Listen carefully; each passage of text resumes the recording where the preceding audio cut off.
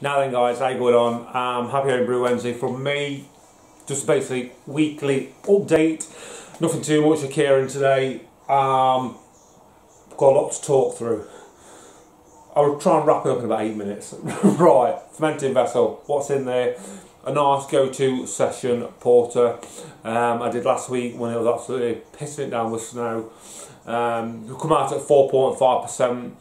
And so I'm fair made up with that. Just racked it into secondary now, and we've got about 21 litres. So my kegs are 19 litres. So I'll have to bottle a couple up beforehand, and obviously just um, a bit of sugar, bit of bottle conditioning. Um, but no, it's tasting real, real nice. I thought I may have a problem because when I come chilling it down, got the water chiller out, sterilised through, and obviously the outside tap is frozen solid. Um, and it's having no connection for my sink tap. So what I did, I just dumped it outside in the snow, packed it all up. Within three hours, it'll cool down, um, and then I transferred it into a fermenting vessel. But tastes fine, so I think we'll go away with that one. Um, country wines, as you can see here, one's dandelion, the other one's pineapple, the lighter one. Give a sample um, earlier on. Pineapple is so intense, lovely and sweet, as you want. Finish off at 10.6%. Great stuff. Um, done pineapple wine a few times before, but never with sparkling yeast. Um, so look forward to that in the summer. I'm to get that bottled up um, this weekend. Need to be careful of the bottles. Um, yeah, different story with the dandelion. Now I picked dandelions this time last year, April um, it was. Um, it's meant to be a lovely table wine, especially for Christmas. Because you, you, can drink it after six months basically. Um, we'll finish off at 22.4%. what happened there? So I'm tasting it, ever so floral on the nose, so so sweet. And I use the same amount of sugar as I did for the pineapple.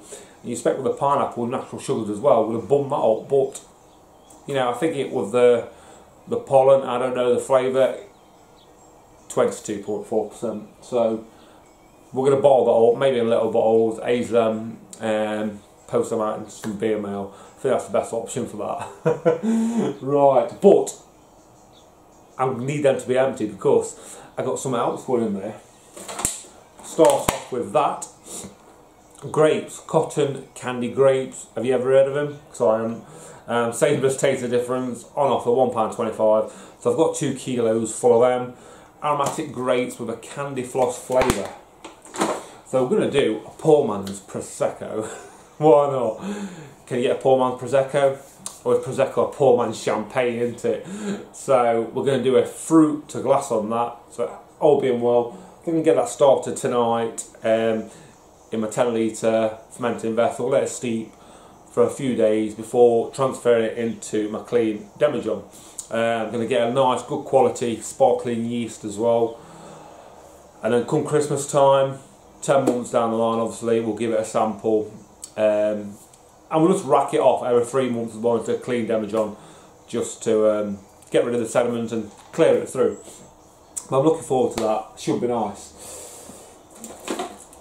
Strawberries pick some strawberries up for a pound as well.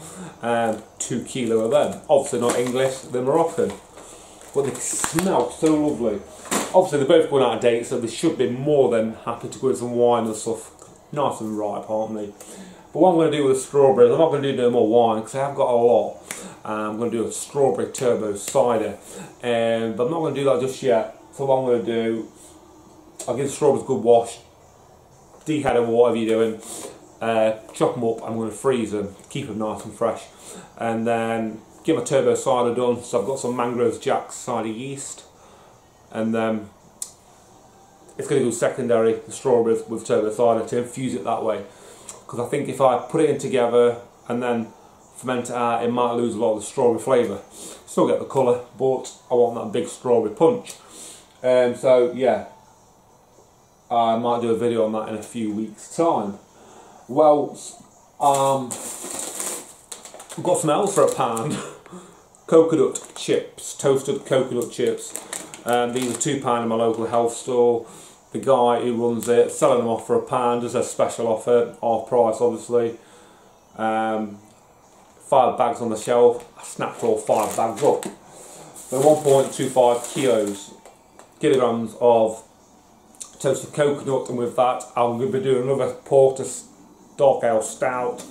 Um, boil up, last five minutes, probably chuck 400 grams in, I'm not sure, and then dry hop the rest a couple of weeks later with the rest of the coconut into a clean fermenting vessel.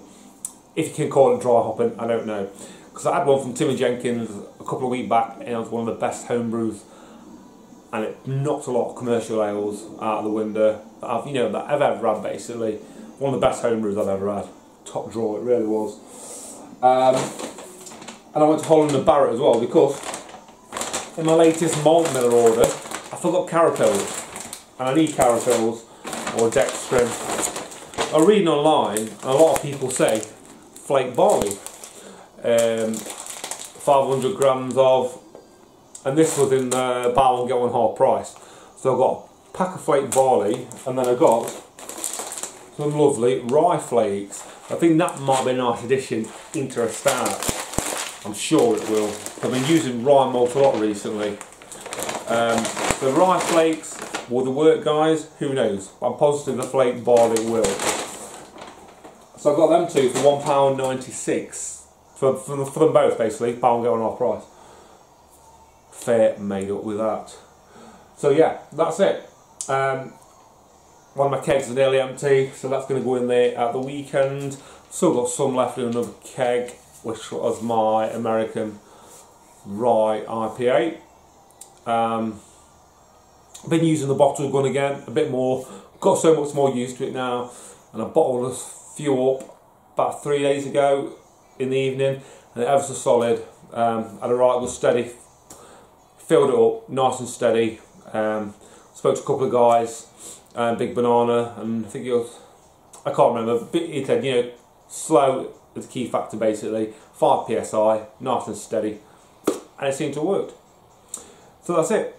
I've got a guy coming around tonight from Nottingham Brewers Group, my local brewing group as well. He wants to do a beer swap, so we'll be interested to see what he gives me. And I'll give him back three in return. So like I say, I've got them stuff bottled up now, guys. So there will be some BML going out next week. Um, you guys know you're. So that's it. All done for this week for me. Um, keep updated on the strawberry turbo cider and obviously the poor man's prosecco. That's going to be lovely for Christmas, but there won't be no update till Christmas on that. Um, may do an update how it's clearing up. Who knows? Oh yeah, and a big bag of malt in the background. Look. Simpson's Finest Maris-Otter, £19 from Murphy and Son, just down the road from me. Saves me buying it online because I got paid delivery as well. Um, about two miles from my house, job done. Until next time guys, catch you in a bit.